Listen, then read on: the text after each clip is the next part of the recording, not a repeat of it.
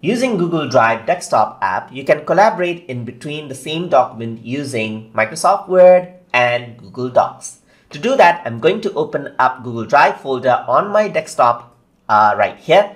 And then I'm going to create a new Microsoft Word document and type in for collab, just like this. Once I do that, I'm going to double click right here and it opens up the document in Microsoft Word. So I'm just going to type in this as a sentence just like this. And then I'm going to type in again, this is a second sentence just like this. So I'm just going to go around and copy out this sentence out, paste this out together so that it forms like a paragraph. So I got some data to work with. So just like this.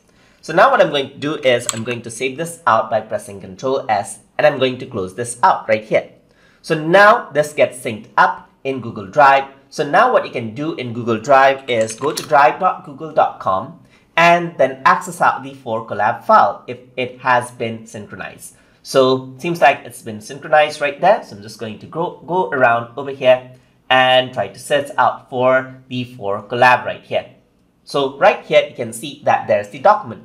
So I can open this out and you can see that there's the content right over there that we typed in a Microsoft Word. So we can open that out with Google Docs right here, just like this. Unfortunately, you cannot work it out at the same time because they are different applications. But over here, you can simply add in things. So let's say, for example, I'm going to type in this is a title, just like this. And then I'm going to go to format right here. Let me just go around and change out the format to title from over here, just like this. And it has been saved right over here.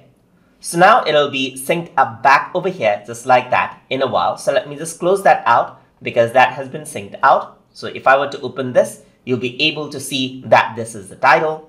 And if I were to open it up on my computer over here again, let me just open it out. You can see that the title is here in Microsoft Word.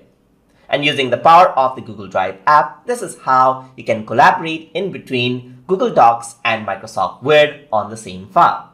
So if you guys learned something as always. And as always, please like, comment, share, and subscribe